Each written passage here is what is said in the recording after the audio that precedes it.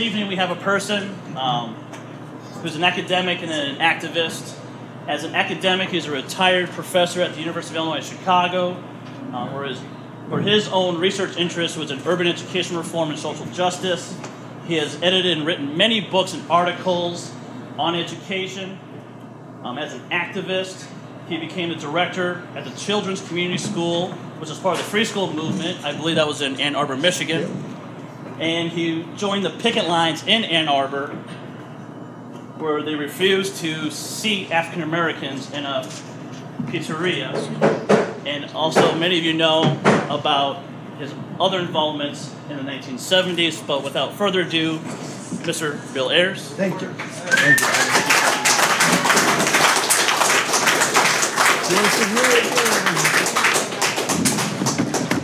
Thank you, AJ, and thank you all for coming out. Um, you can hear me okay, right? In the back? Okay. Mic check. Mic check! I love you. I love you. You're beautiful. You're beautiful. See, whatever you, whatever, if you get down to the General Assembly, the first thing you want to say is what you want to hear. So, thank you. Makes you feel better. Uh, I want to say a couple things quick, and then and then I'll talk for 10 or 15 minutes, whatever. Um, but what I'd most like is to have a dialogue and have a conversation. I was saying to AJ and some of the other folks earlier that what's valuable about something like this is it brings folks together, and we need to come together. We need to face each other and have conversations. I invited our friends picketing out front to please come in and ask pointed questions because I really do believe that the essence of democracy is conversation. You know, um, uh, between strangers is meeting each other and talking. And even if you have a community that's somewhat like-minded, it's a good exercise to get together and talk. So that's very important. And I want to give a shout out to Lori Miner, who's behind the coffee bar there. Lori, Lori. Woo!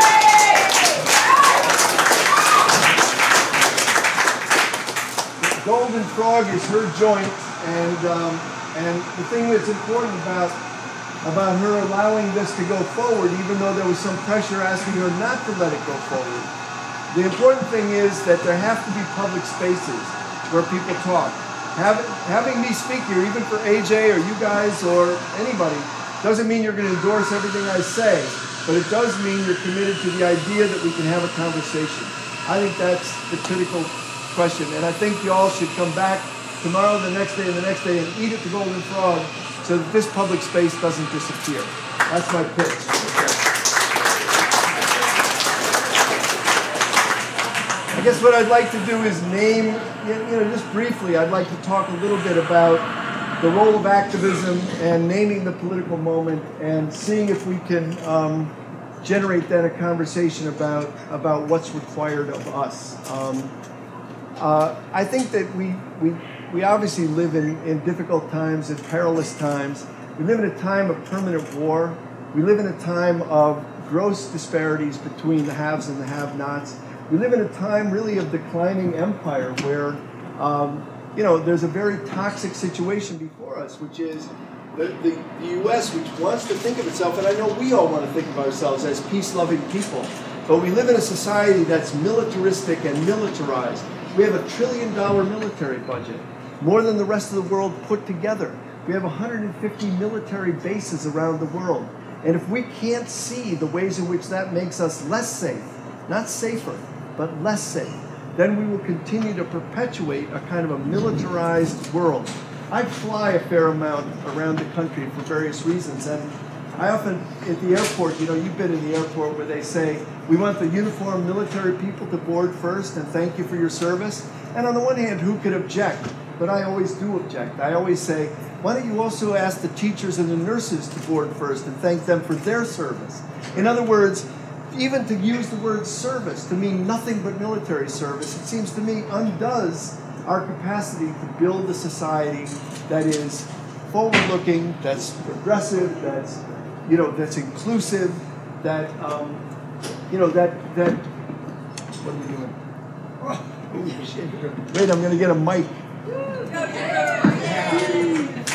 me Mr. Wolf. I solve problems. Ah, dude, it's a problem solver. All right, so this is easier. I don't have to shout. You can hear me. Um, and, and whoever wants to talk next, I'll, I'll give you the mic or you can, uh, I'll pass it in. Um, okay, so we're living in a situation where with great military power, we also have declining economic, social, and political power. And that is a very dangerous situation. And so it seems to me that all of us have a responsibility to open our eyes and struggle towards a, a society that's more democratic, more peaceful, more participatory, more inclusive, and that that we can't predict exactly what's going to happen, but if we don't do that, then we're in trouble. I think that there's a very simple way to understand, very simple for me to remember, simple to understand but hard to enact, um, for what it means to be a citizen in this country, or what it means to be an activist, or even what it means to be a moral person. And it's a simple rhythm, and I take it from three lines from a poem by Mary Oliver. Mary Oliver says, in the middle of a longer poem, she has a little section called Instructions for Living a Life. Instructions for Living a Life, and it's very simple. She says, Pay attention, be astonished, do something. So let me just unpack that briefly, and then I want to talk a bit about activism. Pay attention, be astonished, do something. Paying attention is the most difficult thing because it's not so simple as just kind of going through life, the habits of a daily life. You have to try explicitly to open your eyes, to question everything that's before you, to wonder about what the alternatives are. I think, you know, uh, if you think about it, everything in front of us is just taken for granted. Let me, let me do a little thought experiment. Y'all are against slavery, right? Yes. Yes. Damn. Wake up. Okay. Pay attention. I'm going to ask you a question. I want you to answer. You're against slavery, right? Yes. Thank, thank God. Okay. Um, but if we were living in 1840 and you were against slavery, you'd have been against the Constitution, the founders, the law, both of your senators, your congressmen, the state legislature, the Bible, your preacher, the parents, tradition. Everything would have told you you're out of your mind. And that's why, uh, what's his name, Mark Twain wrote a wonderful, wonderful little essay called Free Speech is for the Grave. And it's one of those funny, funny Mark Twain kind of bits where he goes on and on about how nobody wants to be ill thought of, and therefore we, somebody says, how are you? You say, fine. And, you know, because you don't want, I mean, you know, you don't want to tell the truth because it's just upsetting. So everyone goes along and goes along. And the killing example that Twain gives is slavery. He says, I don't know anyone who's for it. I don't know anyone who speaks up against it. I don't know anyone who's for it, but I don't know anyone who speaks up against it. Now, we, of course, in this room, let's give ourselves a pat on the back. We'd have all been with Harriet Tubman, with Frederick Douglass, with John Brown. We're all key, you know, killer abolitionists, right? That's what we are, because damn it, we know that now. Let me ask you another question. You're for a woman's right to vote, right? Right. Right. Not just the women. When I say that, I want men to say something. Yes, we're for a woman's right to vote, right? Okay, good. Okay, but if you were for a woman's right to vote 100 years ago, you'd have been against the Constitution, the founders, the law, your senators, the congressmen, your parents, the Bible, and your preacher. Would you have done it? Let's give ourselves a break and say, yes, we would have done it. But the reason I bring those two examples to the fore is because those are settled for us, for folks like us. Those are done. We don't need to question those. But that doesn't help us know who we are today. Because if we open our eyes today and look at the world around us, we have to ask, what are we missing? What are we taking for granted just because it's common sense? And there's nothing more dogmatic and insistent than common sense. It's the most dogmatic thing we have. So, homelessness, what are you going to do? You know, homeless families, ah, what can you do about it? This is the problem that we face, that we don't see in front of us what's going on. So let's think forward a minute. Let's imagine 40 years from now, your granddaughter says to you, um, is it true that when the first African American president was elected, it cost him a half a billion dollars to become president? And you'll say, hmm, I don't remember that. Really? Yes, a half a billion the first time and a billion the second time. And, and, and you say, well, I think he raised it on the internet, and your granddaughter will say, you're an idiot. So, you know, I mean, I don't know that that'll happen, but I'm just projecting, maybe. But the point is, we take for granted, don't we, that money and politics just, it's all part of the game. I mean, corporations are people, although You know, my favorite magazine, Adbusters, which I've subscribed to for a decade, they have a wonderful page in there which says, I'll believe corporations are people when Texas executes one. And okay, the corruption of money in politics goes back to the beginning. I mean, we've seen it all of our lives, right? But nothing is, is more bizarre than the upcoming election, which will be billions and billions of dollars spilled on buying an election. And what makes us different then than any other kind of what you might have called once a banana republic? It's bought, it's sold, democracy for sale. That's a, an example, and I'm not saying it's your example or the best example, but it's an example of what we might be missing today because we breathe in the common sense. We breathe in the common sense of everything that is before us, and we don't open our eyes and ask questions. Here's another question your granddaughter might ask you. Is it true that when you were a student at uh, University of Illinois Springfield, that there were two and a half million of your fellow citizens in prison? Two and a half million. In fact, there was a part of the national gulag was only 15 miles from your campus. I, when I tell my students, you know, one mile from our campus, 15,000 black men are living in cages. And they're like, really? Yes, really. Two and a half million people, more than any other country per capita. A, a, an absolute um, caging industry, um, or what Michelle Alexander calls the new Jim Crow, mass incarceration as a political tool. And we're living in that. And your granddaughter, depending on how things turn out, might say to you, Didn't you know that? And you say, Well, I kind of knew, but nobody knew what to do about it. There are things to do about it. But you first have to open your eyes and accept that the world you're looking at on the surface is not the whole picture. You have to go deeper. And in an infinite expanding universe, you can never know everything. You have to keep opening your eyes. Every day you have to get up and question what's before you and ask yourself, what else? Parentheses. There's no way to be a, a moral person if you don't start with what you see before you. Quick example. There's a wonderful film from a decade ago that won the best foreign film at the Academy Awards called Central Station. Any of you seen it for Brazil? It takes place in the Central Station of Rio de Janeiro. A, a retired teacher sits at a little table like Bernie's sitting at and writes letters. That's what Bernie's doing right now. Um, writes letters um, for illiterate people. Uh, and she makes a few coins uh, on the side, writing letters for the illiterate. Okay? And one day a guy comes to her in the very beginning of the film, a guy who she recognizes from the daily routine of the central station, comes to her and says, Dora, I'd like you to do a job for me, and I'll pay you $100 if you take the day off tomorrow and do this work for me. What's the job?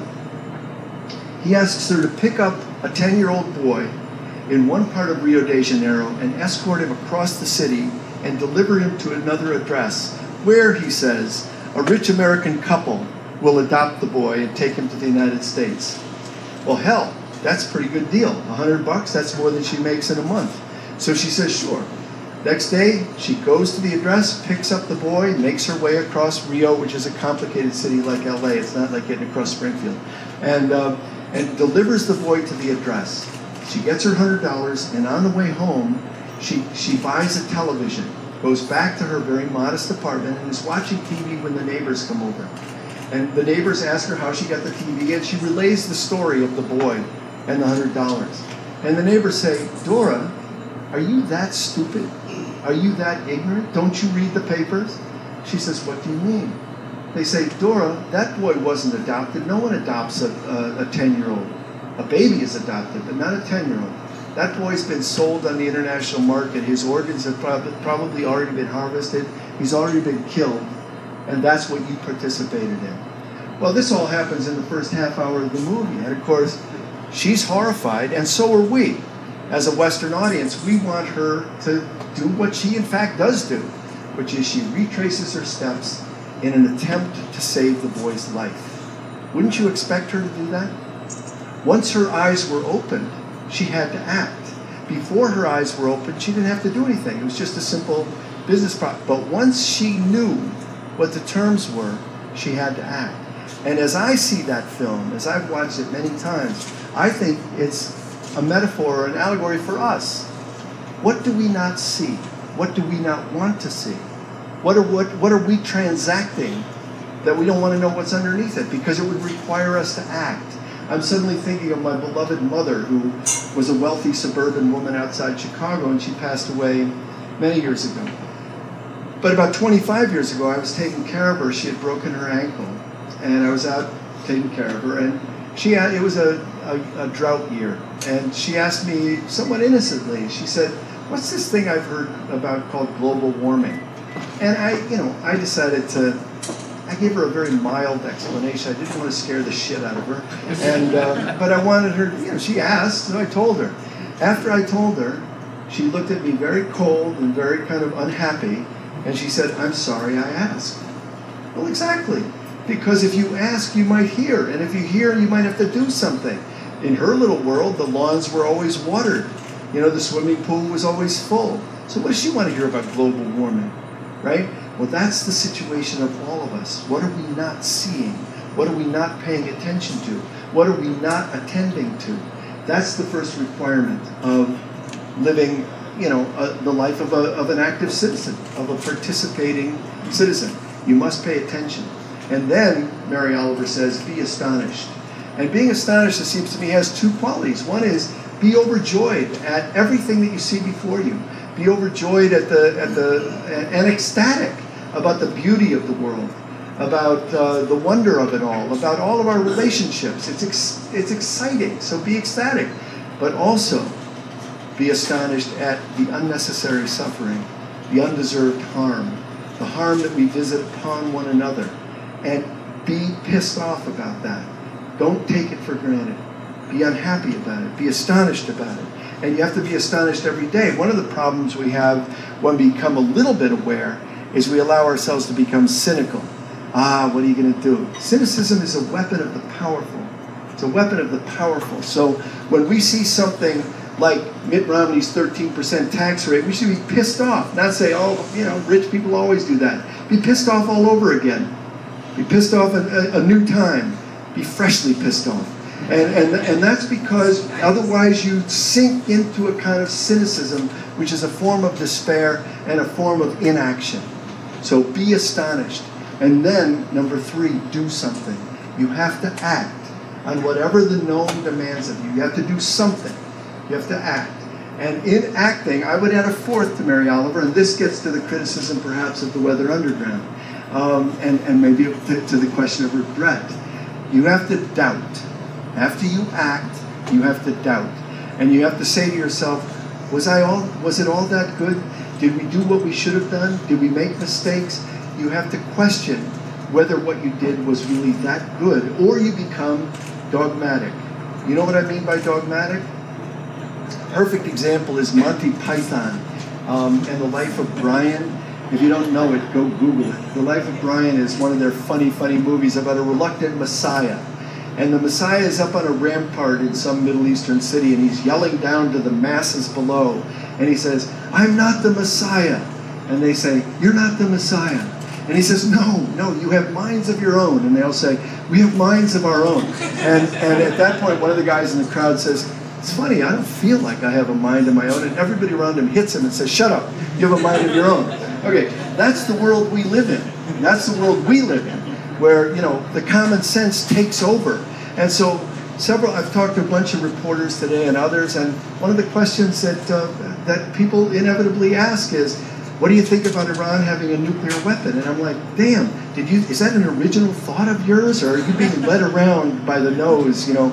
I mean, really, you could map how stupid you know everything is if you just see how we turn our attention here. I remember my mother again, who knew we were peace activists. I was very close to my mother, lovely person, but she knew we were peace activists. And during the first Gulf War, she said to me again, kind of innocently, "I know you kids are against war, but don't you think Saddam Hussein is insane?"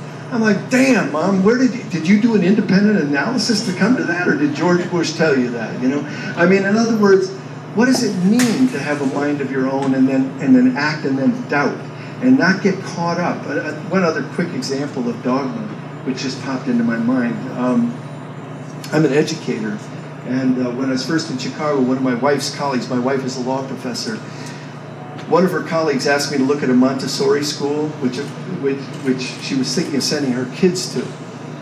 So I went with her and looked at the Montessori school. It's a lovely school. She sends her kids, big deal. But the whole time we were on the tour, the, the head of the Montessori school kept saying to us, now Maria Montessori, the founder of the Montessori movement, would say the children are doing X. Maria Montessori would say the children are doing X. Maria Montessori, Maria Montessori. And I felt like I was being, you know, you know, kind of hypnotized by the music of that line. Maria Montessori says, so at the break, we were having a snack. I said to my friend, "Don't, th- don't drink the Kool-Aid," and, um, and, and and the parents were having a conversation about Carl Rogers and Carl Jung, the two humanist psychologists. And apropos of that conversation, I said, you know, Jung once said, "I'm glad I'm young and not a Jungian because I can still change my mind." To which the Montessori woman said, "Maria Montessori said the same thing," and I wanted to go jump off the bridge. See, that's the thing. When your dogma is full up, it's too easy to just relax into stupid, you know, kind of automatic thinking. So for people like you and people like me, it's too easy to see the dogma of the House Republicans. Too easy. Our dogma is what we should worry about. Our own set thinking, our own automatic responses. Can't you start to question yourself? Can't you wonder, have I really got it all together?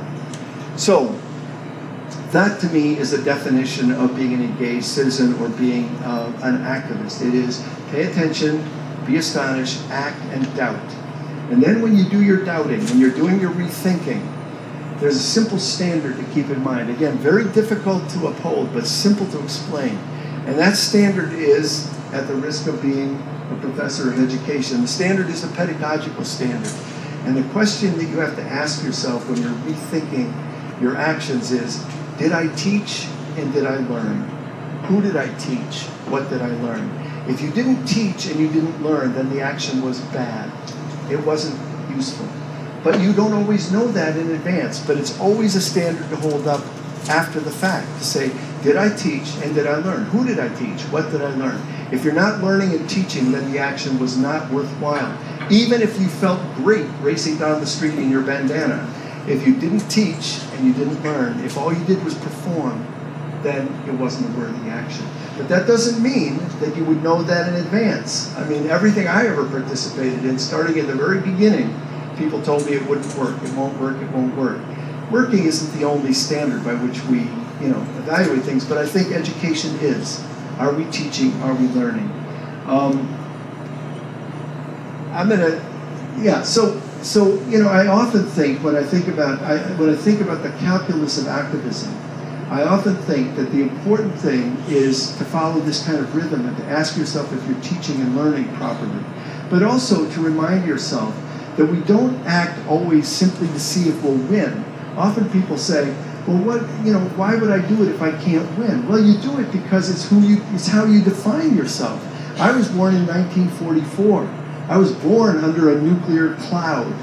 I didn't choose to be born in that world, but it's my responsibility to choose who to be in light of nuclear war.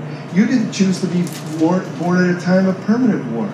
You didn't choose to be born at a time of, you know, gross income disparities or mass incarceration or the, the environmental um, uh, de- degradation so extreme that it's absolutely killing the possibility of a future. You didn't choose to be born in that.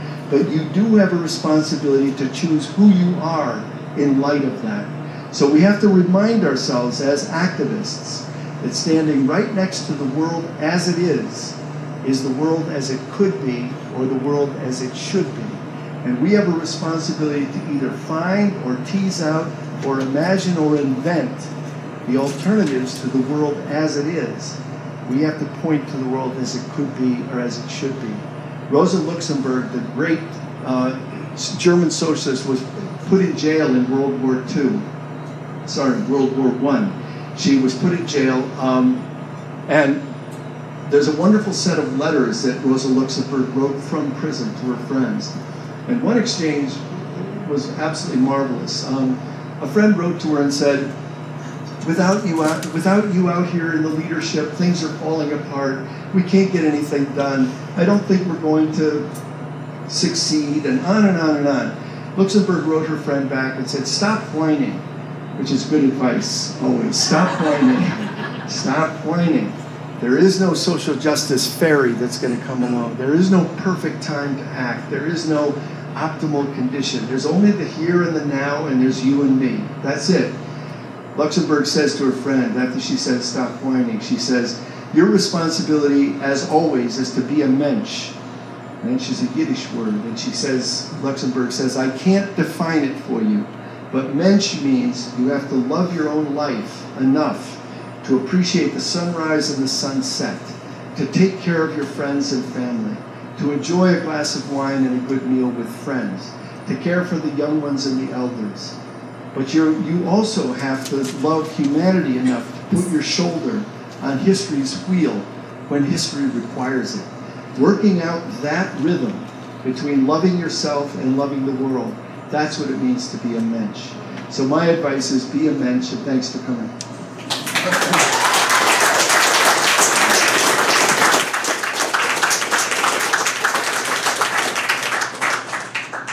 So, somebody like to make a comment? Thank you, thank you, thank you. Shout it out, and I'll repeat it. Okay, um, I have a little problem sometimes finding left and right. And sometimes the word military becomes an ambiguous term. Military industrial complex. I know it exists, but the military, people forget, represents individuals. Individuals I can talk from my own experience who think that the people that lead them are pretty crazy. Don't have a lot of confidence in them.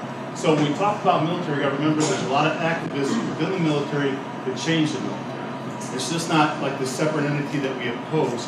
We have to realize a lot of activists within the military itself, and not to separate the individuals out when we start talking militaristic, industrial complex, or military. We've gotta remember that. That's really important. I love that you said that, and I couldn't agree more. I mean, let's go back to the Vietnam War, which is where I cut my teeth on this stuff. It was very clear to us that the guys who were in the Army were working class guys who were drafted into it, pressed into it. The kids who are in the military now are, are kids who, many of my students, you know, they signed up um, because they wanted the, you know, to go to college. And then suddenly, because the world changed and things fell apart, they found they had to walk through the furnace of war to get a teaching certificate. You know, what a disaster, what a catastrophe. But I couldn't agree with you more. That's why, you know, during the Vietnam days, one of the most telling things that turned the country against the war was when the vets came home and started telling the truth. And when they threw their medals at the White House and when they built their own anti-war organizations, Vietnam Vets Against the War, just like the kids today are building Iraq, Iran Vets Against the War. This is, I mean, Iraq, Afghanistan Vets Against the War, soon Iran, I hope not. Um, you know, this is, this is something we have to bear in mind. The, one of the pictures that you brought to my mind was when we had surrounded the Pentagon in 1967 and Allen Ginsberg was oming and he was trying to levitate the Pentagon and everybody was smoking dope. We were having some people were having a festival of life and the militants were doing this and this. And the National Guard had been called out and they had their bayonets fixed and they were standing in a line across from us. And my girlfriend at the time and many other people, and my, myself included, went up and talked to them they couldn't talk to us. We would go up and stand right in front of them and say, I know you don't want to be here. I want to tell you who I am, and I want to invite you to join us. When the first two guys left the line and came over to our side, it was pandemonium. I mean, because it was, it wasn't that it was the end of the militaristic, you know, you know, defense of the Pentagon. What it meant was, as a metaphor, it's meant these things are possible. Let's look at the let's look at the Egypt uh, at the Arab Spring. Look at Cairo. Look at Tahrir Square. If you watched carefully, you saw a bunch of things that were remarkable. One of which was the army, after you know several days and weeks into it, turning to the other side. When that happened, the die was cast. The original, the, the driving of Mubarak from power, which was, you know, step one of, of the revolution they were trying to make, had happened. So let's remember, they're not only human beings, they're mostly working class folks who are just trying to have a job and trying to get by. And they're not seeing the, the picture maybe the way you see it. But it doesn't mean that we don't have a one to one relationship and we try to reach out and organize. And frankly, it brings one other thing to mind, just to get a little bit off of this. You know, we were talking earlier about apathy and about what needs to be done. My advice to all activists is that we not only, you know, the rhythm that I've talked about, open your eyes, be astonished, act and doubt, but also that we display our politics publicly once a week, once a month, that, that, and that we organize. So we have to organize. That means going and talking to strangers. It means engaging in conversation. So when I think of my own activism in the 60s and 70s, which is kind of this, it, it happened a long time ago, and I, I actually am not stuck there. In fact, to me, there's nothing more irritating than a person of my generation who's looking longingly to a ship that already left the shore. Get off your ass, do something today. That's what I was going to tell the old people. Um, but, but you know, what I remember most clearly is sure, I was arrested a bunch of times. Sure, I went to jail a bunch of times. Sure, I picketed a bunch of places. All that happened, you know, and then I did other things. But the most difficult things I did are the things that are not known, that are unsung. For example, spending two summers in a row in Detroit knocking on doors in 1966 and 67 in working class neighborhoods with anti war literature and asking people to please join our effort to end the war. And in one door, somebody would open the door and say, You're a communist, go back to Russia. And next door, somebody would say, My cousin was killed in Vietnam last year, please come in, I want to talk about it. And thank you for what you're doing. It was absolutely eye opening. It, you know, you learned something about the country, something about the people that you didn't know. Those things take real courage. And I think whatever else you do, talking to strangers in an organized, disciplined way, you and your friends, to pick an area and say, we're going to do that, I think is, is critical. And GIs are very much a part of that.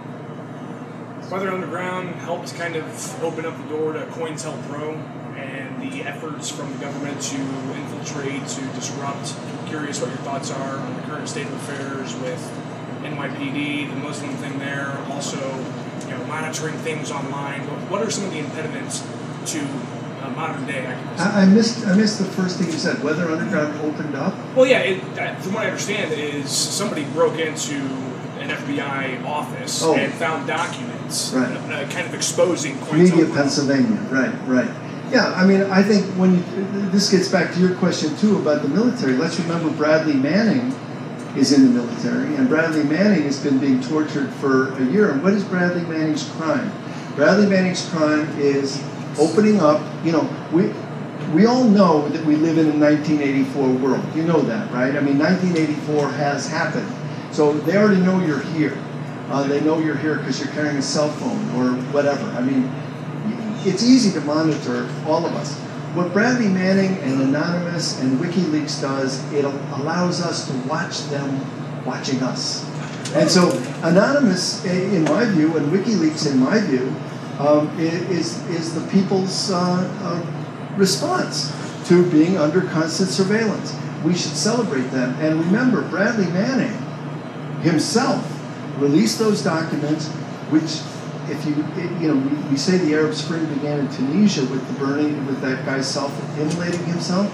Well, what happened in Tunisia was the great discontent based on the release of those documents by WikiLeaks. So Bradley Manning leads to Tunisia, leads to Cairo, leads to Madison, leads to Occupy. Let's not forget Bradley Manning. Let's not forget um, the importance of, of opening these kinds of things up. And then you get the question of what do I think of um, so I think I think nothing but positive things about that kind of response to uh, for secrecy and, and, repression. We're supposed to live in a democracy. Why do we take for granted that the government has to have everything behind closed doors? And then you look at the WikiLeaks files, you look through them.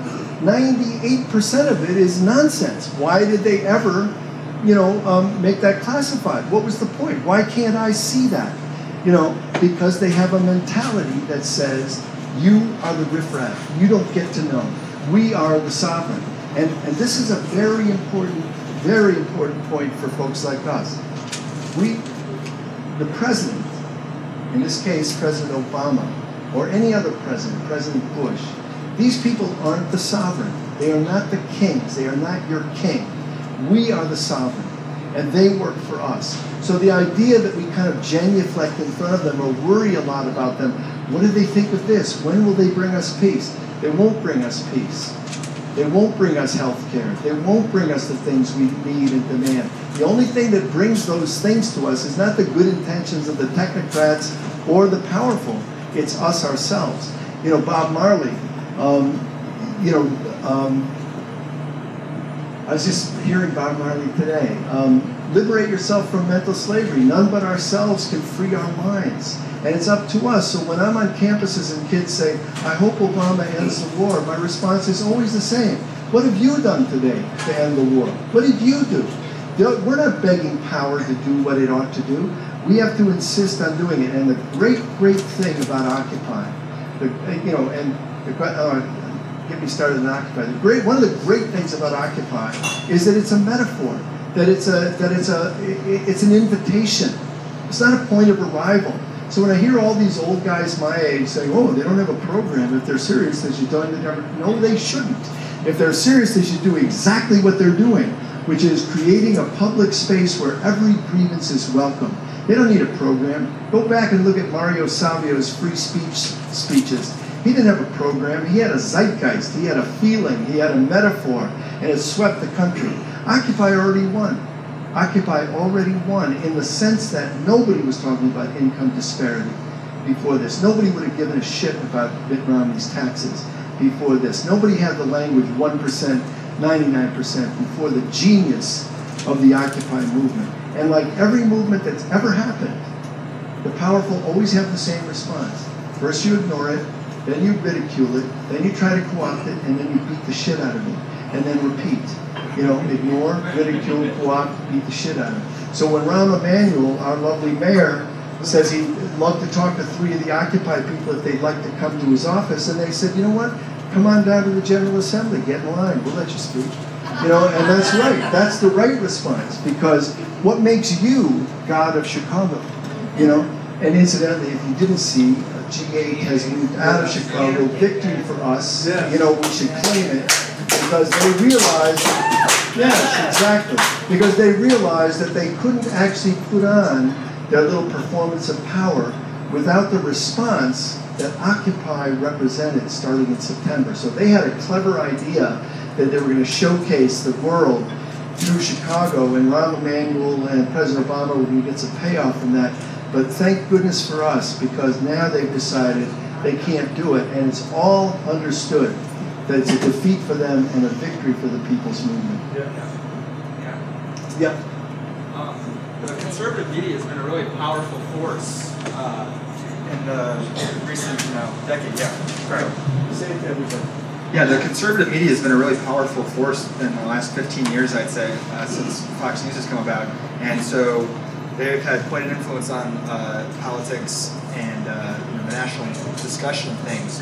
And so a lot of uh, uh, stuff I've heard uh, over the last few years, you know, has been you know one side versus the other. Um, and then so just tying it in through you know your personal experience with the conservative media. Last month, I've heard I heard the uh, Andrew Breitbart's side of his story about having dinner at your home What with, did with Bernardine Dohrn. Oh, that that you were a very good cook. He said, And, and he said I was charming. and he said you were very charming And too. he said my wife was hot at 70. I did not. I did not hear that part, but I will. And I she is. I believe you. Um, my question is, I'd like to hear your side of what that story was and, and how the dinner was, uh, and you know what you think about what he is supposedly going to release or what's going to come out in the next seven to ten days. Well, I have no way to speculate on what Andrew Breitbart was going to release. Andrew Breitbart, as you might know, was the conservative flamethrower who brought down Acorn and uh, and um, Andrew Weiner and got Shirley Sherrod fired. And he he um, uh, dropped dead suddenly outside of his home in L.A. last uh, last week, right? at the age of 43, which is very young to have a sudden death and, and sad. Um, what happened, for those of you who don't know, is that um, my, my wife and I are on the board of a small program um, called uh, The Public Square, which sponsors public conversations like this, mostly in barbershops and coffee shops throughout Chicago. And we've been on the board of it for 10 years. It's a program of the Illinois Humanities Council. And as we have done 20 or 30 times before, um, we offered as part of a fundraiser to cook dinner for six people. Um, and we, thought it would go as it has 20 or 30 other times, which is people bid on it, it goes up to 200 and 300, and then for $400, six people come, and I cook them a great meal. And that's what we figured would happen. Well, the Fox News host and Daily Caller editor uh, Tucker Carlson um, uh, bought the dinner for twenty five hundred dollars, and uh, he pushed a button on the on the on the on the auction, buy instantly for twenty five hundred dollars. And of course, it was kind of a fraternity prank, and I knew he was up to some prankstery thing. But we, we, you know, I felt like I am a big believer in talking to strangers. I have no fear of talking to Tucker Carlson or whoever he wants to bring. So he ended up bringing five people, two young reporters from his um, from his Daily Caller, Andrew Breitbart, the, the flamethrower, um, a woman who had won a contest of having the most interesting question to ask me, and his brother. So I cooked the dinner. Uh, if you're interested, it had hoisin ribs and cucumber salad for an appetizer, carrot ginger soup, blah blah blah, and dessert was um, American. Uh, I mean, was apple pie and Americone dream ice cream. Okay, so um, so it was a lovely dinner, and we marched through it fairly quickly. They chose Super Bowl Sunday to have the thing, so we had it at a friend's apartment. We it lasted all of an hour and a half, and oh, and I, I uh, there was a lot of theater to it. I had printed up the menu on cardstock, and everybody at their place had a menu, and it had the menu, and at the bottom it had two quotes. One from David McCullough, who had won the um, uh, Medal of Freedom from George Bush, the historian, and the quote from him was, "Thank God and my parents for an education in the humanities. It has made all the difference in my life." And uh, the second quote was from Tucker Carlson himself, and it was, "Whenever I hear the word humanities, I reach for my pistol." So, uh, so I thought that would be funny, and he thought it was funny. Um, everybody got a swag bag of chocolate kisses in one of my books. My books are for sale right here. Um, and um, and at every place setting, there was a cutout postcard of some famous American. So one was Rosa Parks, one was uh, Gertrude Stein, one was Sarah Palin, and you could kind of choose which place you wanted to sit at. The dinner went fine. We had several conversations and arguments. Um, so a couple of my favorite moments were I asked um, Tucker where his kids went to school, and I won't tell you where they go to school. They go to a prep school, a boarding school, and that costs forty thousand dollars a year.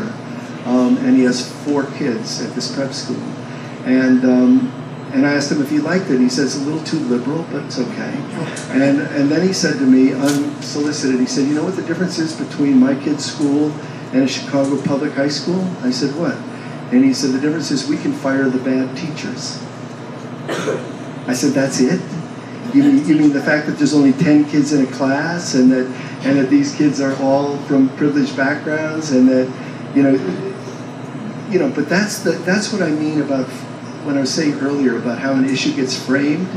Education is really my world. And, and here's one great example of framing.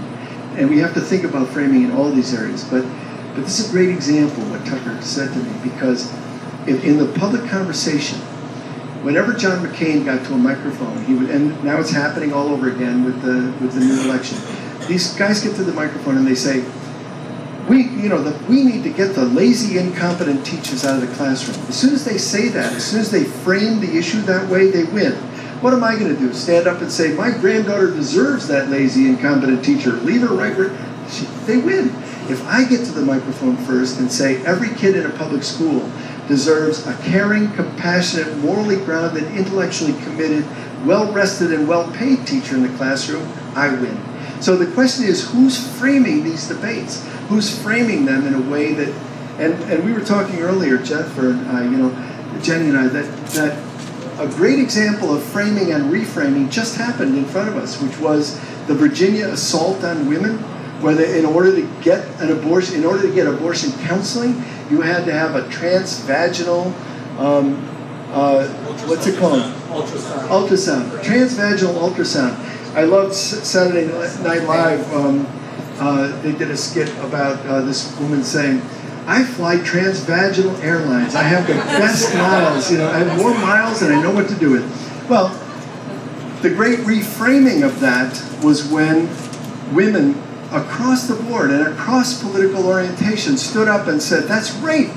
You can't do that. You can't require a woman against her will to have somebody invade her and then call that law. You're legalizing. And they won. They beat that back. And similarly, the attack, you know, the three day sustained attack on this young woman, not a public figure, the, the young law student from Georgetown, not a public figure, not a candidate for any office, just a woman who had an opinion about contraception and the, the pillaring of her and then the, the, the pushback um, by women and men really all over the country was marvelous. So it shows you the power of reframing. We have to reframe so many issues mass incarceration, war, um, taxation. All of these things are dying to be reframed. And that's what I think we should do. So that's my take on the dinner. Is that okay? Yes.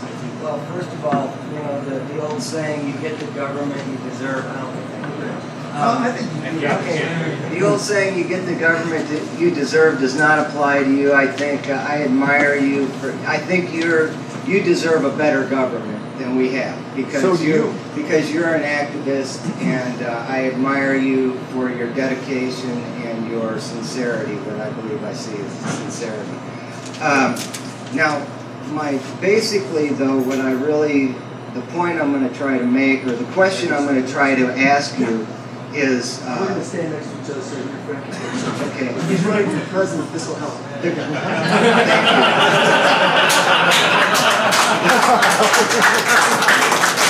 the, the, question I really would like to ask you, and, and it comes later because I, I think I know the answer, is why, what, okay, I, I think that uh, you and Ron Paul, for example, almost every activist I hear speak I would think would be a hardcore Ron Paul fan, like Sarah Palin, for example, or anybody who's in favor of ending the war, in favor of shrinking the government, uh, etc.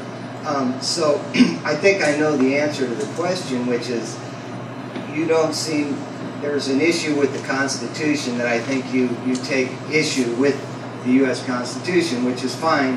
And you know, you made two points. Uh, slavery was uh, constitutional at one point. So was the uh, um, women's, uh, you know, anti. women didn't have to vote, whatever. Okay, the point is that that the Constitution has been amended to allow these things to occur and to you know prohibit slavery. Um, the the issue I have is Ron Paul is um, a student of Frederick Bastiat and Frederick Bastiat's main premise was that no one would care who's president. And this goes back to your your issue about half a billion dollars to run. People want to be president really bad. Yeah. George Washington did not want to be president. Exactly. See, the founding fathers, that was service. That was a uh, to be president was a, a sacrifice. Okay, if you will. So today in America, people will spend a billion dollars to be president. Why is that?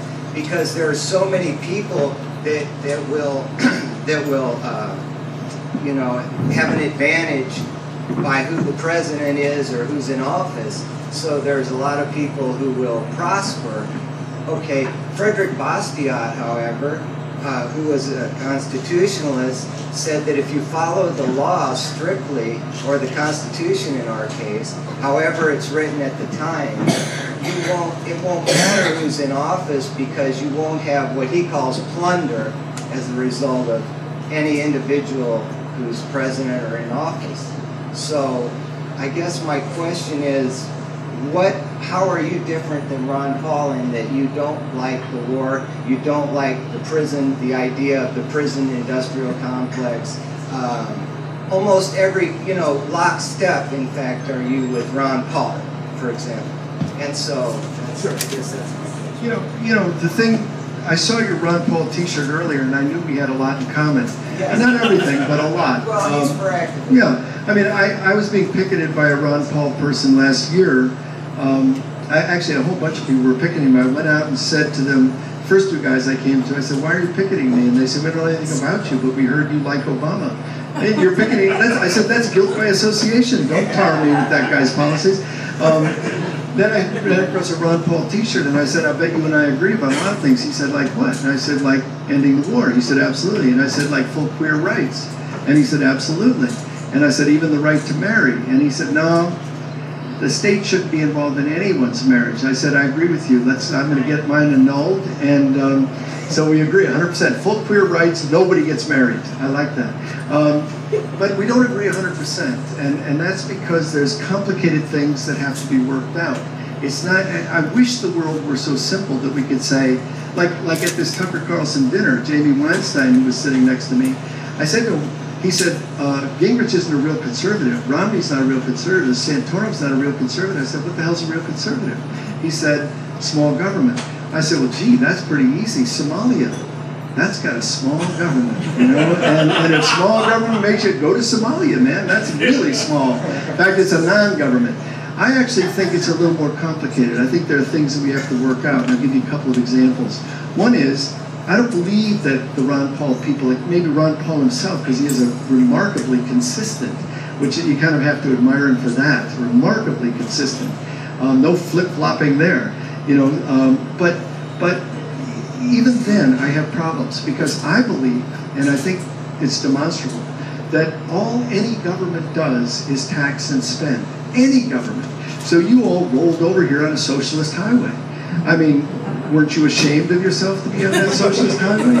Um, you know, and and you've seen these analyses, but it's true that the red states actually take more money from the federal government than the blue states. If you have a port, an airport, an interstate, a railroad, you're sucking off the public breast, you know, and and we're paying for that. And frankly, I'm happy to pay for it. I want the roads to pay, you know, and so on. In fact, for example, in Chicago, you know, where they're privatizing everything. Privatize this, private. Private is good, public is bad. Public is always tyranny. Well, let's just take garbage pickup. I'm actually glad that we have a socialist garbage pickup in Chicago. Um, I want socialist garbage. And the reason I want it is because the guy next to me is kind of a slob. And I can just, I, I would have to spend all my time training the rats to stay on that side of the fence and so that they knew that you can eat that guy's stuff and go into his house, don't come into my house. No, the socialist garbage pickup is good. The socialist fire department is good. It's a good thing. And the astonishing thing to me about all the people who are frightened of socialism and stuff, what's the biggest job creator in the country? The military and the prisons. And these are projects of the government. But but this is why, rather than have this kind of what I think of as a, a kind of futile argument about whether you're for small or big, is we should say, we should ask a different question. Who do you want to tax? What do you want to spend on? Who do you want to tax and what do you want to spend on? Because you're going to tax somebody and you're going to spend on something, or you wouldn't have a dam, a railroad, a road, garbage pickup, or a fire department. So who do you want to tax and what do you want to spend on? I want to tax the rich and I want to spend on on things like education and health. I do not want to tax the poor and spend on military incarceration and surveillance. Those are the things I don't want. Okay. So one other, one other thing about government doesn't build dams and highways. Well, they pay for them, absolutely. They don't and, have and- to, though. But they do, and, and the thing, the thing is... They only do that if you wear seatbelts and don't smoke in bars. and I think the seatbelt, you know, this is another example where, oh, the government's always bad. Like, now the government's trying to make a big nanny thing about what kids should eat. Keep the government out of that. Yeah, keep the government out of smoking, you know, out of, they shouldn't put those warning labels on. That's unfreedom. But the fact is that at the end of the day, somebody walks into an emergency room bleeding, we take care of them. And that is something that we all are going to share that burden. So why not have a public campaign about what we eat and what we smoke and so on? Because at the end of the day, you're going to pay. And this is another example, incidentally, of framing. If I said to you, and I will say to you, shouldn't people take care of their own health, God damn it? Yeah. We will all say yes. And if I said to you, somebody was just hit by a car out there, should we go help? We'd all stampede out to help. Maybe not the Ron Paul guys, but the rest of the rest of us would definitely go help. And so the question is, which of those models is a metaphor for healthcare? And in my view, the model that makes more sense is the model that says, if he's bleeding, I'm going to help him. And if he's bleeding, why don't we all help him? And you know what? He didn't ask to be run over by that car, and he didn't ask to be whatever. But so, so I just think it's a little more complicated. And one last thing, besides the Socialist Road, which incidentally is the name of a pamphlet, the Socialist Road, but I meant the highways. Um, I meant it literally. Jim Hightower right there. Yeah, yeah, exactly. But but uh, but the other thing that I would point to in Ron Paul, and the reason I'm not 100% Ron Paul, is that he wants the government to be out of your business, including when the government says, you know what, you can't discriminate against black people. You can't. And Ron Paul says that's unfair. That's the end of freedom. I'm sorry, we have a history in this country of deep, deep, abiding white supremacy. And it's good if we can convince the government to enforce the fact that actually black people can ride in the front of the bus, black people can come into a public uh, train without being discriminated against. That's a good thing, and Ron Paul thinks it's a bad thing. So that's where we get off. I'm sorry. I don't think he thinks it's a bad thing. I think he definitely thinks it's a I, I bad thing. I think we should we should use our, our community power together to say we're gonna we're gonna shame you. I couldn't agree more. If you come in here I couldn't agree more. I don't think it's primarily a legal question, but I think you're mistaken, and you can go back and read all of Ron Paul's pronouncements on Martin Luther King Day as a, a as a hate whitey day. Well, that's a constitutional. Uh, yeah, I know, but that's part of the but get over that, you know. So no, I don't agree with Ron Paul and all those things. I actually think I, I think that I want to be and have always been an activist against white supremacy, and I think white supremacy abides in this country. It's not something we've done away with. We've made progress, but we have not done away with it. And because we haven't, I think we have serious issues to still deal with. I don't think Ron and I agree. Now I'm going to come back to you. I'm not going to ignore you, Right, right. but I'm going to go to the sister over here and then over here. Um, in your opinion, what is the difference between the Occupy Wall Streeters and the Tea Partiers? Well, the big difference is the Koch brothers haven't given the Occupy people any money. That's the biggest problem. Um, You know, uh, the other thing is the Tea Party got its got got its energy um, from opposing um, the Obama administration and the Democratic Party, and and they're anti-government. And so, if you ask that, uh, not, not, that's not across the board. The Tea Party is a metaphor also, just like Occupy is a metaphor. But there's a lot in the Tea Party that I actually find refreshing. I find the citizen activism refreshing. I find the, uh, the I, you know, I'm fed up and I won't take it anymore refreshing. But I think that what they miss, and they miss it badly, is that Wall Street is pulling the strings on so much of what's going on. And that's where we have to aim at least some of our fire, and that's what Occupy has done so brilliantly. In the back. Hey, Bill, I don't really need a microphone. No, I can tell you that. I, I want to thank you first for coming to Springfield. I risked a speeding ticket coming down from Chicago. So did I. So did I. I, I think you passed me. I knew it. Anyways, I, I wanted to ask you a question. I mean, I got a lot of respect for all the work you've done as an activist. And as a young activist, looking towards the future in the 21st century, looking for, well, let's say activism and being an activist is a lot like any trade. You know, carpenters have certain tools, electricians have certain tools. What are the tools of the 21st century activist, in your opinion, and coming from the perspective of somebody that, you know, worked with the tools of the 20th century, which were revolutionary then? What are what are the what are similar things, or what are things that we can use now that are similarly as, as revolutionary? I look at the internet as sort of a huge resource and a lot of websites and things like that, creating your own media. What are your thoughts on that subject? Well, I'll give you a couple thoughts, but I think you're more the expert than I am on that. But I would say that that the um, what you're what you're absent. I'm not a tactician. I've never been a tactician. I don't really know much about tactics and how to think about them. But what I do think is that is that um, think you know every revolutionary movement, every movement of any kind has its own media, has its own press. So we had the underground papers. The abolitionists had the abolitionist papers. You know, and so on. You have more than we ever had in terms of access to knowledge and information and the ability to spread it like a virus. It's amazing. So I've been I participated in three flash mobs, blow my mind every time. And one was in downtown Cairo in Tahrir Square in Cairo. A year before this stuff speed off, we were there trying to get to Gaza and we and we were hemmed in by the US and, and Egyptian forces. So we had a flash mob. That was the first one I'd ever been in, and it blew my mind. I would look if I were you to. There's three things I would look at. I would look at. Um, I would look at Eric Mann's book, um, uh, Playbook for Progressives. You can find it online. Playbook for Progressives. It's one of the neatest little simple things about all the things you need to be able to do, and it includes things like research. like you know looking into things so that you're not just shooting in the wind, but you're actually knowing. Um, so that's one. I would look at the yes men. Do you know the yes men? Okay, I just spoke uh, at the Yes Lab at NYU last week. The Yes Men are these interventionist artists. I'll give you an example of what they do. Well, one thing I brought back to Chicago from them is they have these little stickers that they put on water fountains all over New York, and the sticker says has a picture of a water spout and it says, "This water is assumed to be safe," and then a quick couple of sentences on fracking and what fracking does to the water, and then at the bottom it says, "If in doubt, strike a match." And it's uh, you know, it's so clever, and it just like flips the thing. Um, I have my Adbusters here with me. You should certainly subscribe to Adbusters.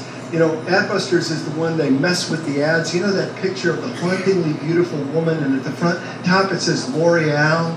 This is all over billboards. L'Oreal, and then this beautiful face, and then at the bottom it says because you're worth it. And Adbusters goes around to those billboards and puts at the bottom because you're worthless. You know that that kind of. I mean, to me, those kind of and, and Adbusters calls itself uh, the journal of the of the of, of the mental environment, and it's all about changing the frame, getting you to see something you didn't see before, because they mess with the, you know, the kind of common sense of it. So, say again. Detouring it? Yeah, yeah, that kind of thing. Okay, the other one that the Yes Men, this is the kind of things Yes Men are famous for. Um, they did a piece, uh, they link up with other activists. So there are a bunch of Peabody coal activists who wanted to do something on the environment. So they linked up with the Yes Men, and this is what they came up with after weeks and months of work. They, they built a, um, a, a website called Coal Cares. Coal Cares, and it looked exactly like the Peabody website. And what it said was, it started by kind of an assumption. Of course, cold causes all kind of respiratory problems, but we care, and so here's our answer. And then they have all these respirators that you can buy that are cool. Like you can have a Barbie doll respirator, or you can have a Star Wars respirator, or you can have an Avatar respirator. But to get you started, they'll give you an infant respirator for free. And, and, so they put this up, online. They sent out 80,000 press releases about it. It was picked up by the AP and the Wall Street Journal as if it was legit. And immediately, my friend Andy gets a letter from the White Shoes Law Firm representing Peabody, a cease and desist letter. Cease and desist. We demand that you stop. We're going to take you into court, blah, blah, blah. Andy writes back and says, Oh, I'm sorry, I didn't mean to just have Peabody. I'll have a rotating logo with all the coal companies. And they dropped it. Why did they drop it? Do you really want to mud wrestle with a bunch of clowns in federal court the whole time making your. The other one they did that you might remember is that GE didn't pay any taxes last year. GE paid no taxes. That meant that means you paid not only a higher percentage, you paid more actual money than GE paid, even though they made six billion dollars in profit. So you paid more than them. So um, they broke into their system and they have a way of mimicking all this stuff. And they sent out a press release. We've changed our mind. We've decided we are going to pay our fair share. And here's what we think our fair share is. GE had to issue a denial and say, no, no, that was a joke. We're not paying taxes. Great. So, so I think besides the obvious things, social media, besides, I think humor is a very generous way to organize. Humor and a kind of a, a getting away from the kind of earnestness that we sometimes, and this is why, incidentally, that young people and me, old people, look to things like Jon Stewart and Stephen Colbert and The Onion to tell us the truth about what's going on in the world because with humor, they're able to reveal things that the earnest people are hiding or bullshitting us about, right? Um, so the Onion headline last week was Iran objects to the 8,500th nuclear warhead in the United States. get a grip. Get, get your, wrap your mind around that, right? So those are just a few reflections on it, but I think it's an excellent thought. You bet. Uh, yes. Okay. Um, yep. Why don't you take the mic?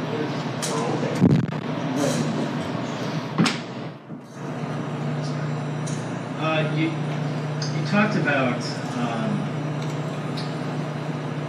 Michelle Alexander and mass incarceration. And uh, it's been kind of a fixa- uh, fixation of mine since I read her book, The New Jim Crow.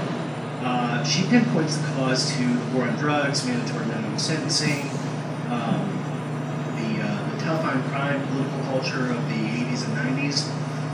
Uh, and, and if you were to examine the chart of the uh, prison population from the time it's been measured to now, uh, at about the beginning of the 1980s, you'll see something like a 70 like a 70 degree line showing the increase uh, that, that tracks the prison population from less than 500,000 people to about 2.5 million. So um, th- this to me seems like a causal relationship. It's not that there was this great crime uh, outbreak. It was a recategorization of crime. So my question to you is, um, can there be any kind of legitimacy in a system where this is possible? And if so, uh, is, is change possible in such a system? You know, you, you mentioned something about cynicism. I'm, I'm, not cynical. I'm just kind of forewarned. You know let, what I mean? let, let me argue with this.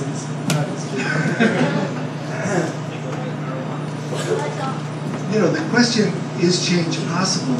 I mean, you know, the month before Occupy happened, it was impossible. And the month after, inevitable. And, and frankly, I'm old enough to know that the month before Rosa Parks became Rosa Parks, it was impossible. And a year later, it was inevitable.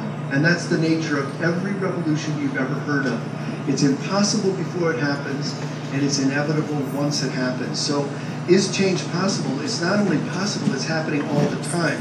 Progressive, thoughtful, planned change, very, very difficult. But it's always in flux and it's always. Yeah, of course. You know, the changing the point of the winds as they're blowing. But this is- thing, but- but yeah, but this is what I mean. Right, I understand, and, I, and it's a big system, and it's a big monster, and who knows, our chances might not be that good, but what are you gonna do? Throw up your hands and sit on your couch? No.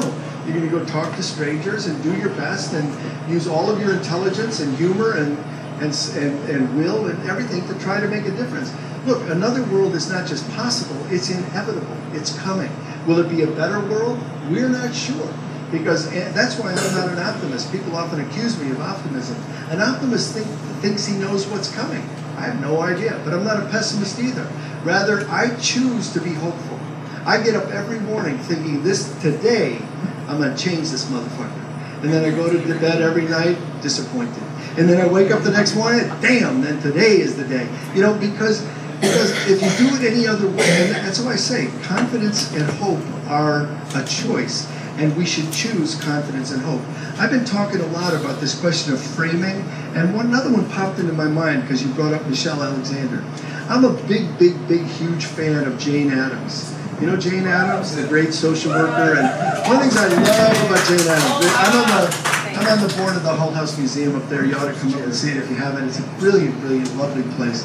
And Jane Addams, one of the reasons I love Jane Addams is because J. Edgar Hoover called her the most dangerous woman in America when he was young, and then when he was old, he called my wife the most dangerous woman in America. So, I feel like we're linked. Um, but, but, but you know, the thing about Jane Addams is she lived in solidarity with the poor, not in service to, in solidarity with. This is a stance we can all take to our advantage. That is, why minister to the people? Why think that your greater education and your greater access and so on should give you the right to, to tell people what they need? The really powerful thing is to live in solidarity with people. Move into the neighborhood. Be with them. Look at their problems through their eyes. And in that way, begin to craft solutions. But I'm saying that all about the great Jane Addams to point something out about framing. One of the people that Jane Addams worked with, one of the women of Hull House, was um, uh, uh, Lawrence Kelly. well, Florence Kelley was one of them, but the, but it's the woman who was the journalist who wrote against lynching, Wells Barnett. Um, what was her first name? Ida, Ida B. Wells Barnett, exactly, exactly. So I, I read the book Ida, br- Brilliant New History of Ida B. Wells Barnett. And um, Ida B. Wells Barnett spent 40 years campaigning against lynching.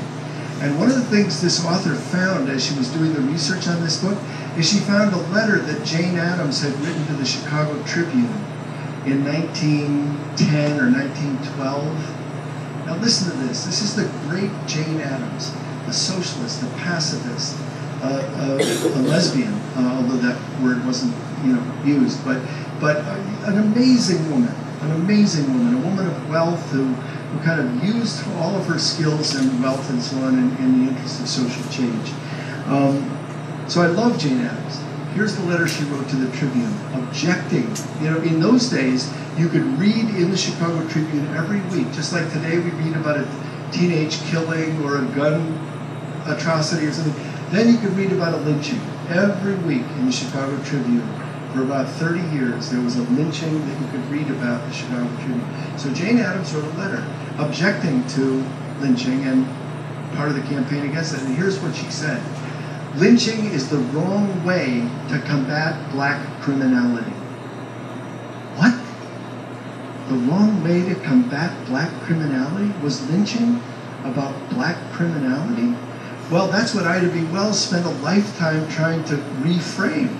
It wasn't about that. It was about terror against an entire community at the moment of modernity and industrialization. Lynching was social control, but it took Ida B. Wells and a bunch of other people to convince even people as brilliant as Jane Addams that that was the wrong framing. There's a better frame. So yes, we can change. We can move. I've changed. You've changed. We can all change. But it requires us to link up with each other, to try to rethink, to go to the root of things, to try to, um, you know, offer better solutions. I'm writing a book right now called What If? And the subtitle is Releasing the Radical Imagination. And the chapters are things like Abolish the Prisons.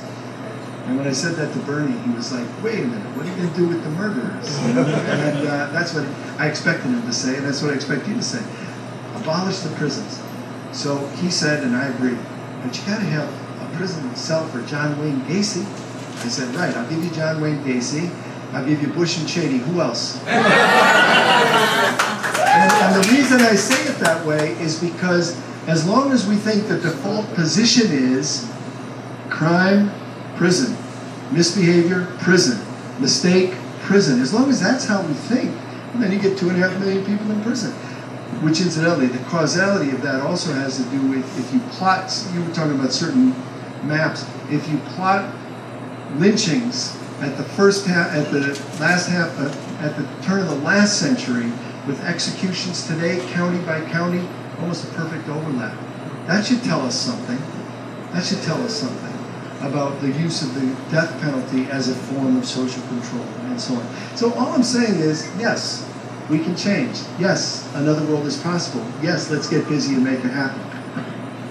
Uh, yeah, Howard Zinn uh, said the best time to protest a war is before it starts.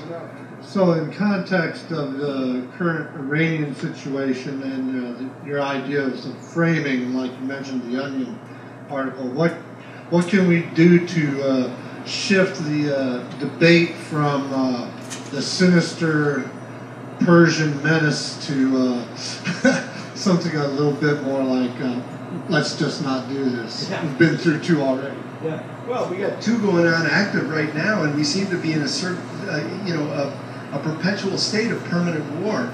I agree that the best time to, to, to try to end a war is before it starts. Many of us were out the streets March 15, 2003. And the problem with that demonstration, which was the largest anti-war demonstration I've ever participated in, in spite of the mythology of the 60s and all that, um, actually, I happened to be on a book tour that day, and I was in San Francisco. I was at a school, and I marched with the kindergartners, and they were all carrying signs that said, um, use your words you know, that's what he said. You know, like George Bush, use your words. Um, you know, uh, I mean, but, but, I think I think that the, that the best we can hope for. I think the country. I mean, the good thing. Let's pat ourselves on the back. When G8 goes to Camp David, let's claim victory. Yeah. When these guys have to lie to us perpetually to get us to go to war, and the lie lasts for a year and a half, two years, sometimes three years, and then we wake up because we are not a warlike people. We do not want war. Most of us are really against war. But we get sucked into we're fighting for freedom, we're fighting for democracy, we're fighting for this, we're fighting for that. I just remember that I had this wonderful, wonderful quote from uh, George Orwell, who I love, and he wrote a piece called Notes on Nationalism. Listen to this, and if this doesn't describe us, although he wrote it in 45. All nationalists have the power of not seeing resemblances between similar sets of facts. A British Tory will defend self-determination in Europe and oppose it in India with no feeling of inconsistency. Actions are held to be good or bad, not on their own merits, but according to who does them. And there's almost no kind of outrage, torture, the use of hostages, forced labor, mass deportations, imprisonment without trial, assassination, forgery, bombing of civilians, drone strikes, he doesn't say that, which does not change its moral color when it's committed by our side. The nationalist not only doesn't does not disapprove of atrocities committed by us, but has a remarkable capacity for not even hearing about them. Our job is to wake up. Our job is to expose it. So I don't know if we can prevent what's about to happen in Iran, but we can go out and talk to our neighbors. I, I remember very clearly in the 60s when I first met the Vietnamese in Canada. There were no Vietnamese in the United States. And we told them all of our grand plans for all of our demonstrations and all of our revolutionary aspirations. And they listened patiently, and then they said, Have you talked to your Republican parents yet? And we were like outraged. What? Talk to them? I would never talk to them. Yes, talk to your Republican parents. Talk to everybody. Talk far and wide. And point out, as you just said, not only is this kind of warmongering at the highest level, but we've already spent billions and billions and billions and thrown that into the furnace of war. We have real needs and real things we could accomplish, but not if we burn up everything about our, our country and our world um, in war. So I appreciate the, the sentiment. We're going to just go a couple more, and I'm going to start with this young man and go right there. Come forward.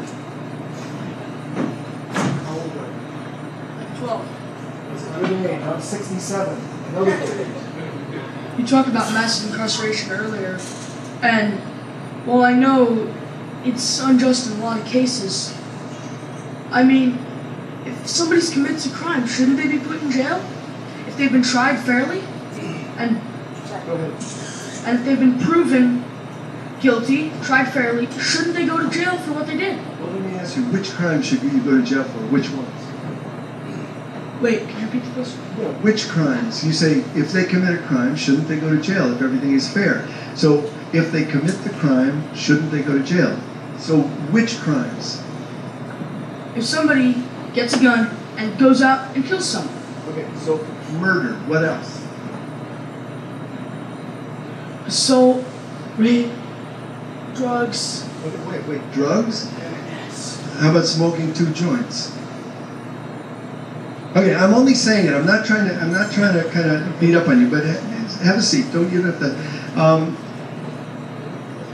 I say two things. One is, of course, if people are, you know, do uh, outrageous things and, and, and, and are a danger to the community and to themselves, of course, then, then you, you have a good point. The problem is over half of the 2.5 million people who are in jail, well over half, are in for nonviolent crimes. So the crimes that you mentioned were all violent. Now, what about drugs? What about drug possession? Um, I mean, we really need to parse this a little more. And what I want you to think about, all of us to think about together, is let's think of a hundred things we could do for a person who's committed a crime before we put them in jail. What are a hundred alternatives to jail? Jail is expensive. Jail is ridiculously wasteful. It, it you know, it's um, it's you know, every day in this country, 50,000 people wake up in, in solitary confinement, which is a form of torture. Um, this is an outrage to humanity. So the question is, what could we do before jail? And I would posit a couple things. One is drug treatment, right? One is community service. Um, you know, the, when my kid, when my oldest son was a senior in high school, he got into a struggle with a kid about what else, a girl. And the kid came and put a boulder through the front windshield of our car. Should he have gone to jail?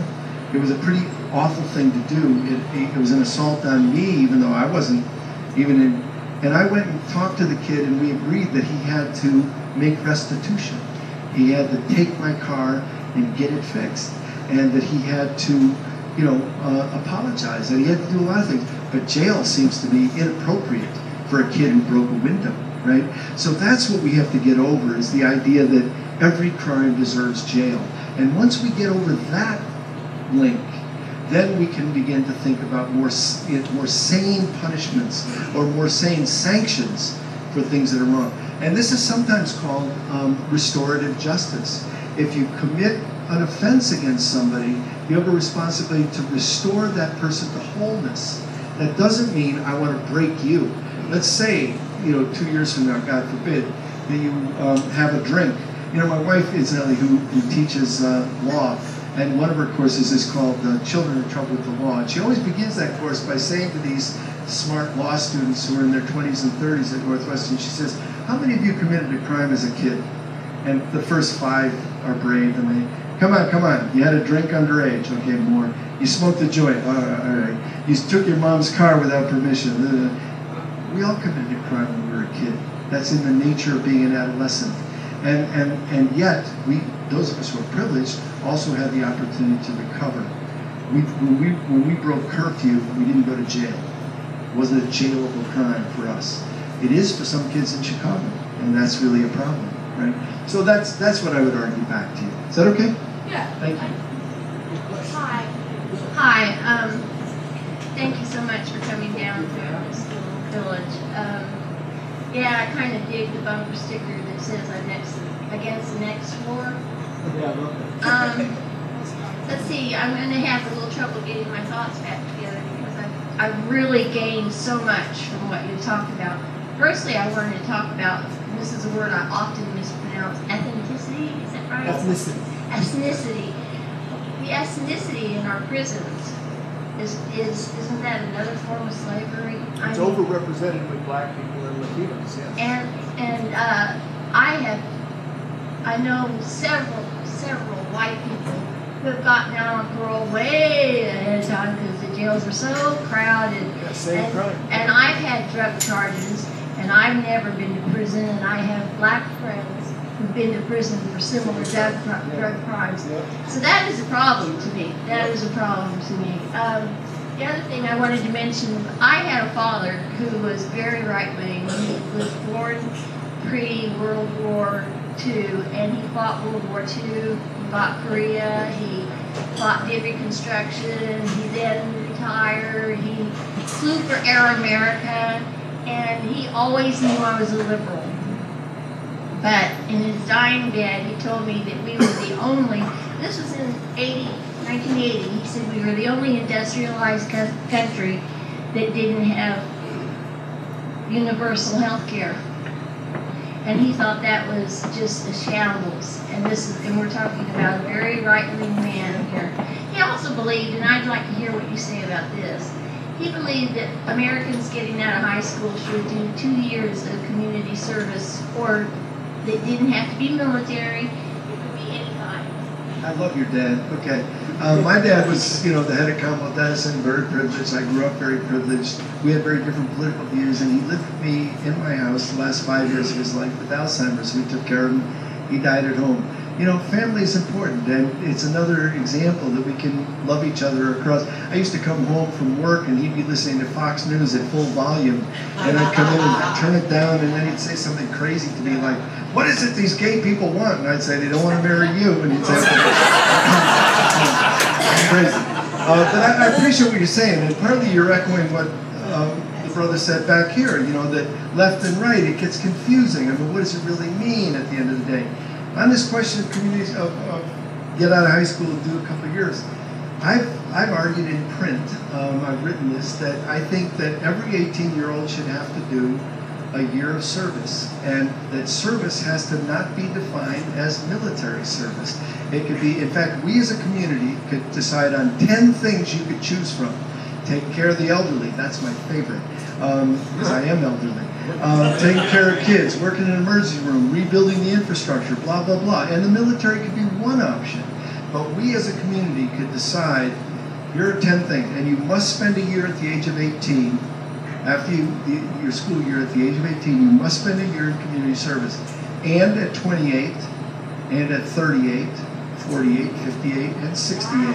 One year, that's six years out of your adult life, and it wouldn't hurt you. In fact, it'd be good for you.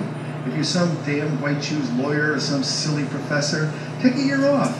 Go to the fields, do something, and you'll get a better perspective on your life, and you can stop being so driven and ambitious and crazy, and you can kind of understand that we're in this together, and we're all floating along on planet Earth, and I think that we should, you know, I think that'd be good for us. I think it'd be good for our souls, and I think it'd be good for our community.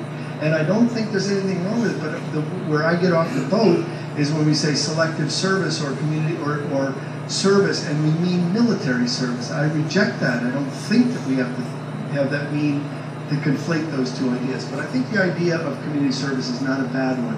I think it's a good one. I think we do it with minimal bureaucracy and a lot of spirit and heart. I'm going to take a couple more and then I'm going to get out of here. So I got two, three up. Okay, sister. One question that's really bothering me right now, and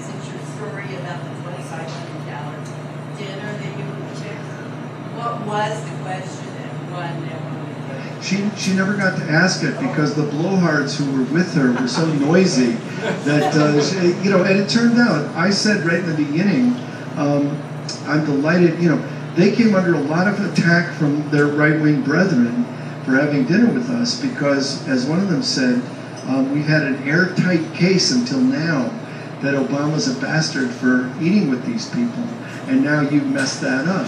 So, you know, they were um, they were confused about what the, the point was, but I said to them right in the beginning, this is not an interview, and it's not it's a it's a conversation over dinner. That's all we're doing, and um, and they pretty much respected that, and they weren't really prepared. But we had a couple of interesting arguments. You know, my favorite moment was Jamie Weinstein, this young cub reporter who was panting like a puppy dog and as eager as Jimmy Olsen. Um, he, he, he said to me as he was leaving, he said, I know what you're going to say because you've said it before, but I want the truth. Did you write Obama's book? And I said, yes. He said, no, I knew you were going to say that. I want the truth. Did you? I said, yes. He said, no. what do you want me to say, dude? You know, I mean, it was like, um, it was one of those kind of crazy repeating circles, right? We couldn't, we couldn't stop. But, uh, you know, no, she never got to ask her question. She was somewhat quiet and shy, and the big guys were blowing hard. Okay, I got two more. Yes, sir. Um, as somebody who has been very familiar with drastic action for drastic change, um, where do you see the Occupy movement in a year, five years? Well, I'm not sure if I can predict that at all, but I, I have nothing but In yeah, I have nothing but admiration and respect, and I think it depends on a lot of things.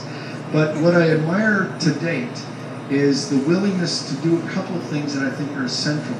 One is the willingness to stand up and go out in the public square and be heard. Second, the, the desire to build a little bit of the future society we want to live in right here, right now.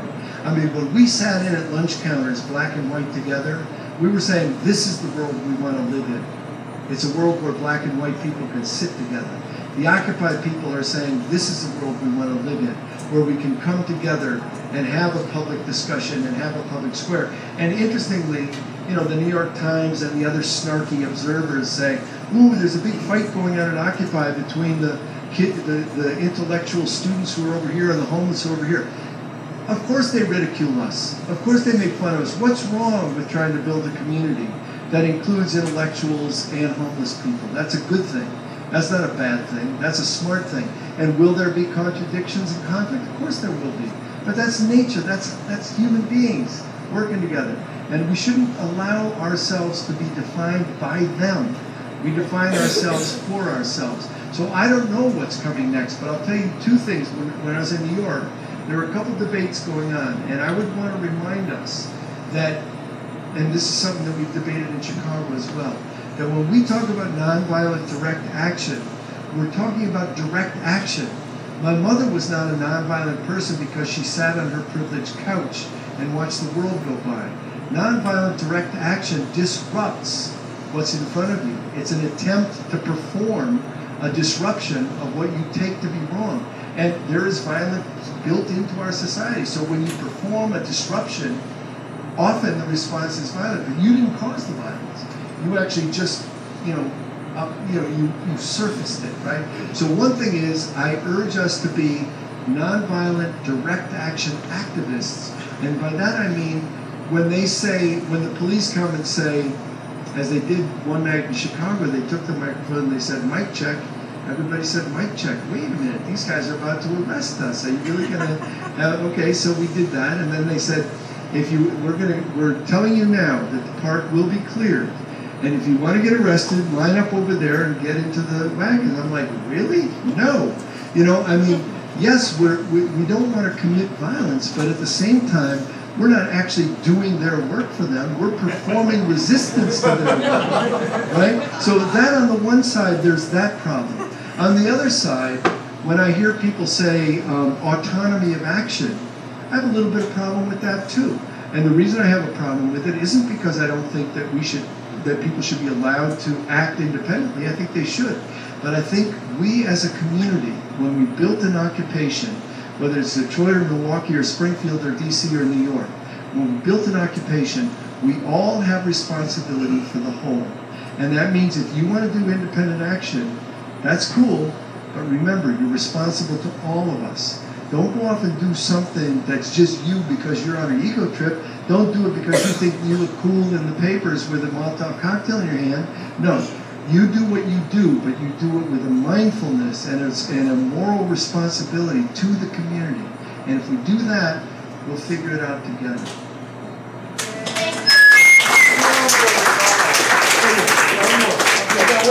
All right, I'm sorry, but the, the black, the racist issue against Ron Paul. Ron Paul is a constitutionalist. He sees the Constitution doesn't recognize race. It only recognizes individuals. Therefore, your argument that Ron Paul would be against blacks or any other group opposed to them is absolutely incorrect because the Constitution, and Ron Paul is a constitutionalist, recognizes only individuals. What about where it says in black? Well, the Constitution actually, it's a little, there's, it's a little more complicated than that. The Constitution recognizes black people as two-thirds of a human being, so that's in the Constitution. And, and that's been rewritten, and there's much more to rewrite. But the fact is that Ron Paul has written some of the most scurrilous racist stuff in his newsletter, which he now claims is the one place where he's not consistent. He says, oh, I forgot to read it. It's called the Ron Paul newsletter. And he calls Martin Luther King, you know, the hate whitey day. I mean, it's all there, so you can check it out. All I'm saying is we're going to disagree on that. I have deep respect for you and, and for what you're fighting for. I urge us all to think more deeply, to talk with one another more respectfully than we see around us. And again, thank you all for having me and thanks for coming. Um,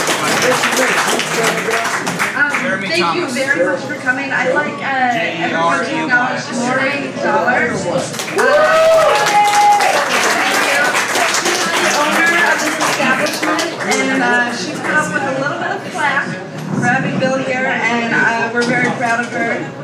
And we thank her for her contribution, and thank you all for coming out. So.